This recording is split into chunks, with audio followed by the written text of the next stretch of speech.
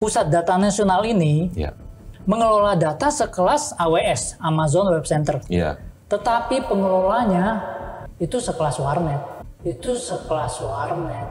Oh, sekelas warnet. Ya, dengan kebiasaan seperti ini, Oke. mereka harusnya memiliki kemampuan, memiliki kes- kesadaran bahwa data itu sedemikian pentingnya data imigrasi, data tiap eh, kementerian, data MK atau apa, itu mereka harus backup, backup di data center bersangkutan. Terpisah segmennya. Sesudah itu harus di backup juga ke PDN yang lain, PDN 2, PDN 3, Betul, ada PDN betul. 1, 2, Iya, 3, iya. masing-masing harus punya backupnya dan harus full berjalan otomatis. Setelah itu lapis ketiganya, setiap instansi yang mengelola data dikasih tahu juga, lu harus backup. Oh, Berapa jadi lama sekali? double cover ya? Iya. Bukan double lagi ya, bercover-cover lah Iya, ya. tiga lapis. Jadi kalaupun terjadi bencana atau apa, tenang aja, tinggal tunggu sehari dua hari, up lagi Selesai, semua. ya, iya.